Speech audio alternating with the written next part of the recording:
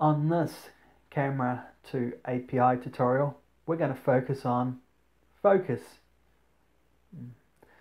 I don't like puns very much.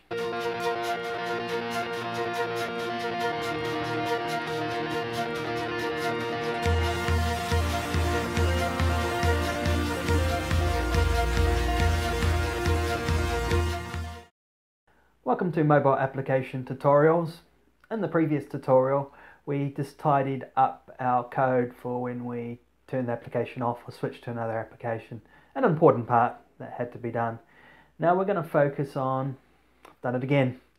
Now we're going to um, work on the focus part of the camera application.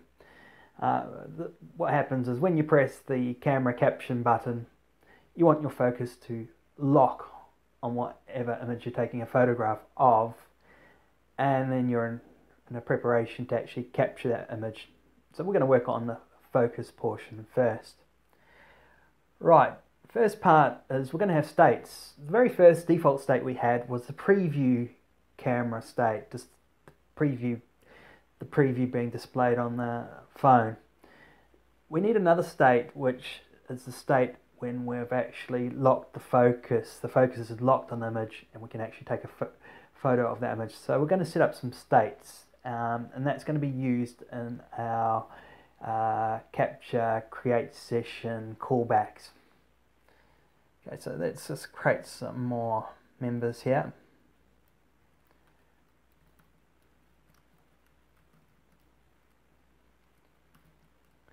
And so this first one's gonna, I'm gonna call it state preview. And that's to monitor preview state. Let's give it a number zero.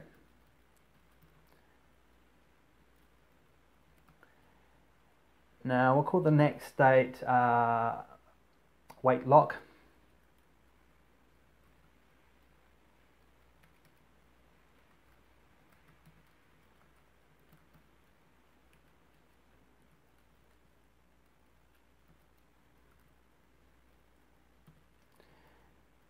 Now I want to create another member that will just be assigned to any one of these states.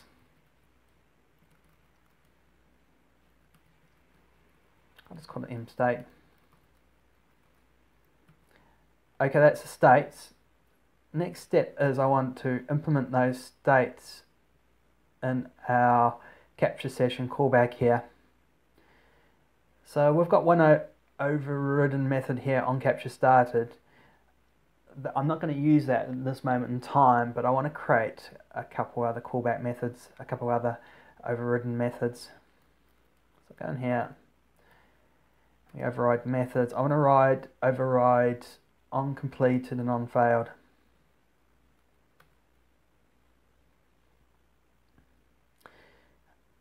Okay, an on capture completed for our focus state it will tell us that a focus is locked for capturing an image. So I just want to work on this. I'm basically, all I'm going to do in here is call a private method I'm just going to create in here. And it's just going to be called process. And I'm going to pass it the total captured result. Just a result. Now I need to implement that method inside here.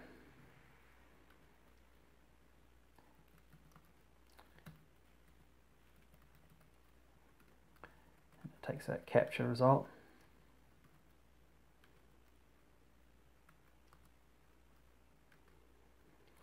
Okay, so this process method is just going to keep hold of our different states for us and act on um, act on whichever state we're in at the moment. So I'm just going to put a switch statement.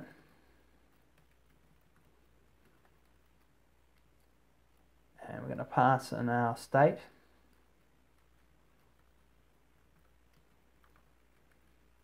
And we'll do it for the uh, previous state first. Put in a case for that.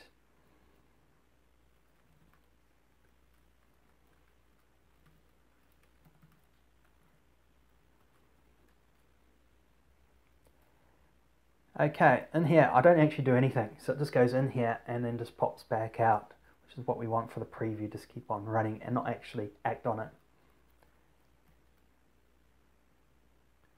Let's put a little comment here, do nothing. Okay, next case we will do something. We're going to act on the wait lock.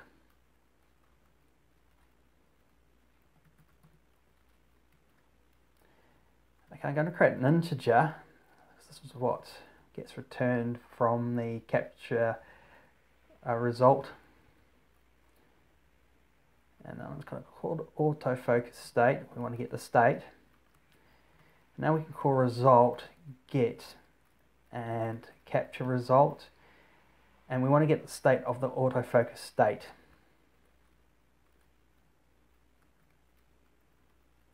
Now we want to check that state. If it equals camera capture. So basically, if this equals, this will tell us if the autofocus stop, autofocus state is locked. So that's what we, and we'll set up a trigger for that. So you press the capture button, we're going to say, right, I'm triggering for a focus lock, and then it'll come inside here when the focus is actually locked prior to us actually catching, capturing the image.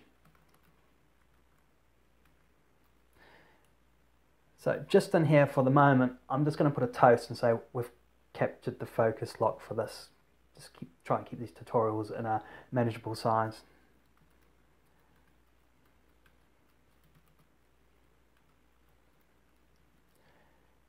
Okay, how to say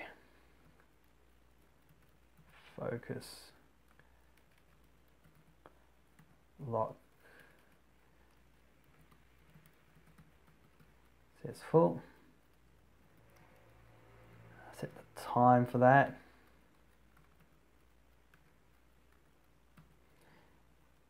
So that's all I'm going to do here. I just want to add another toast. I'll copy this down to on capture failed down here.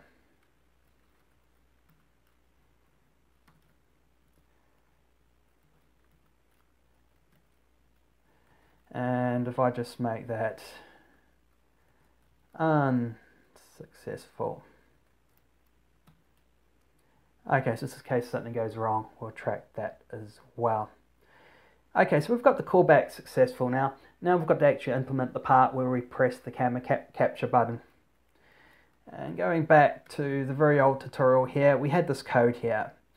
Um, just let me comment out these spaces here. I'm not going to use any of this at this stage. All we want to do is prove that we can focus focus lock. So let's comment out all this code.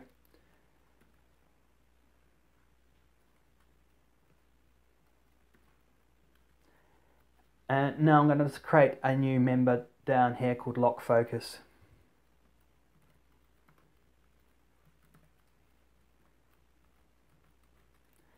Now we need to implement that method. I'll probably do that at the bottom down here.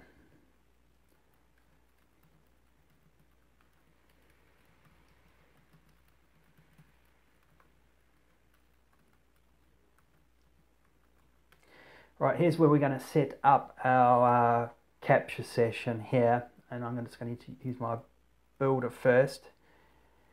So in preview request builder and we set and for this the key is going to be camera capture request autofocus trigger. So I'm going to set this value here for a trigger basically. And we go back there. And I'm going to say I want to be careful here. What I want is I want the autofocus trigger start. I want to start the trigger on the autofocus, so I select this here. And now it's a matter of, just before I do that, it's important that we set to change our state to state wait lock. So we're waiting for the focus to lock here. So now let's start our request. So, and we're just going to do a capture with our request builder. We need to call build on that. Now we can pass session capture callback and we've got a handler from the previous tutorial. Okay, because we're calling camera resources, we need to uh, do a catch on the um, camera exception. So I'm just to, let me just highlight.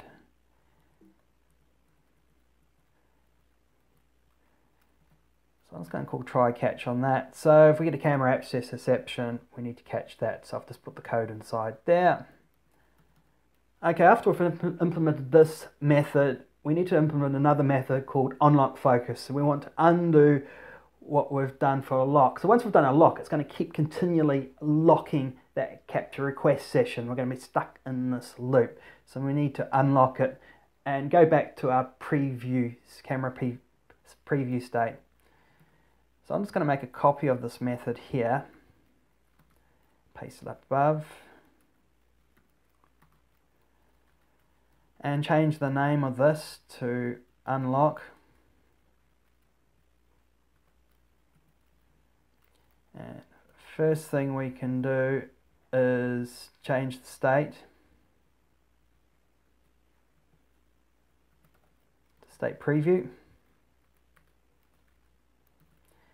And we just got to set the control autofocus trigger. We need to cancel that so let's see what we got here. cancel that.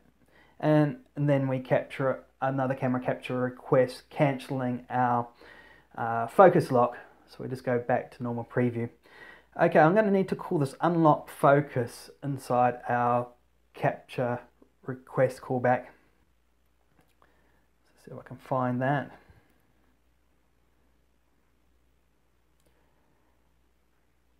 We are here. So if this is successful, we need to unlock the focus again. Okay, that's all I believe I need to do to get the lock focus part of the Camera 2 API working. Let's try running that and see what happens.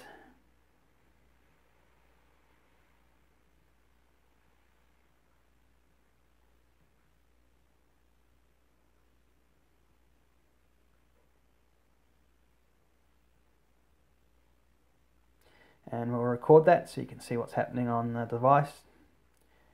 Okay, I've just had a bug here. I've been waiting to try and catch this one. It's an intermittent bug.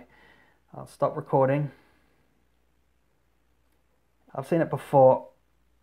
And if we go into there, it's basically my image views null there. So it could be something happening in the async task. Let me go into this I believe this is happening in the bitmap worker task here. And potentially this could be null. So let's put a bit of protection around that. So if image view is not equal to null, we'll just run the code inside there.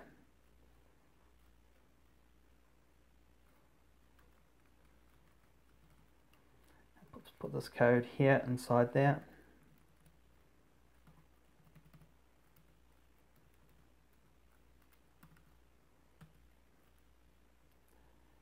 Okay, go back to our activity.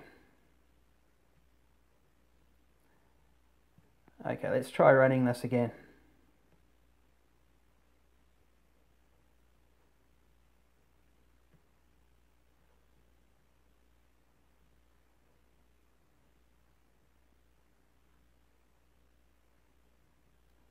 And record what's happening on display. Okay, so all I need to do is take photo and we want to lock the focus. So we've got the focus lock successful and then it switches back off again. We unlock it after the picture's taken with the unlock focus method.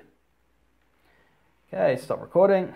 Okay, and as usual for these tutorials, we'll put in a few breakpoints and just step through the code changes we made. So here's a good place just to inside the process here. Um, sort of we know that we're seeing on capture completed, so I'm just going to keep the breakpoint there.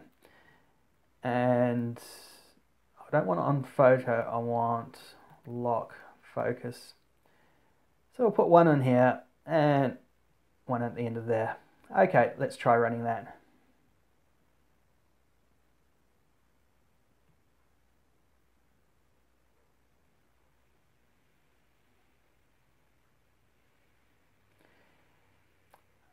Okay, so it's now started up.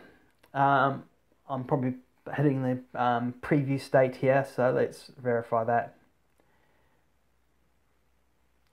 Okay, so it's done nothing. Um, let me put the breakpoint in there and continue on. Okay, so preview's happening fine. Um, we probably were hitting the preview state, which is continuous. Now let's go to capture an image to lock the focus. Okay, so we've locked the focus, we changed the state to state lock, and now we um, set up a capture request to start the uh, autofocus trigger. So we're setting that now. And then we set a capture session request with that uh, capture session request with that capture request.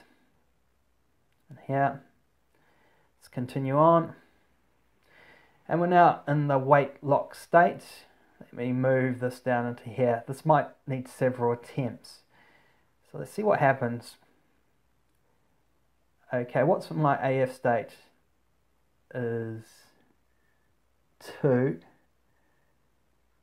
and 4. Okay, so it's just in a different state at the moment. We're not actually going to um, be in the locked state yet. You'll see that as I step through. Okay, let's continue on.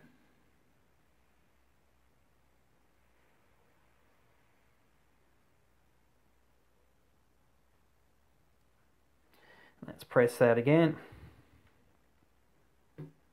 Can remove this breakpoint now for lock focus, continue on. And now we're hitting, we've locked the focus, we're inside the lock focus state. If we step on down there, we will be displaying that's gone now. And so we unlock that and continue on. and we quickly had the toast being displayed there. So we want to unlock the focus or else we'll be stuck in this lock focus state. We want to get back to the state preview state. Okay, so that was just this for this tutorial. We just want to focus on how we can set up uh, capture requests for a focus trigger lock, focus trigger lock request, and then how we can um, actually capture that request in the session callback and using by uh, capture results, we can get the different states back as well as the state we want for actually cap, uh, being in, a, in the uh, focus locked state. So once you're in the focus locked state, you're actually in the position where you can actually capture the image. And so that was the intention for that. Basically, we just want to make sure our image is focused before we can actually save it to memory. Okay, that's it for this tutorial. Remember, if you like my tutorials and you haven't already, don't forget to subscribe. And that's all for this one. Bye for now.